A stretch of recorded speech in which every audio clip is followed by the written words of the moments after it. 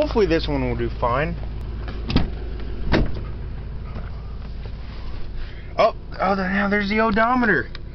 212,202. That's cool.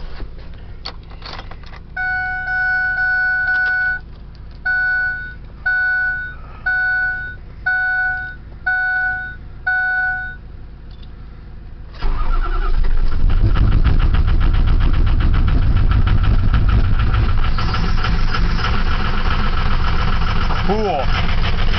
Now we'll turn this on a little bit.